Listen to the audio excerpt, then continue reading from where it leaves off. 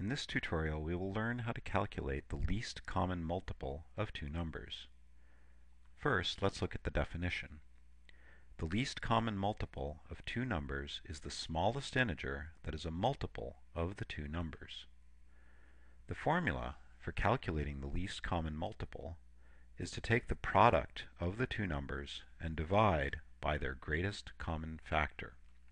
Therefore, in order to calculate the least common multiple, you will need to know how to calculate the greatest common factor. Let's do an example. Let's find the least common multiple, or LCM, of the numbers 6 and 10.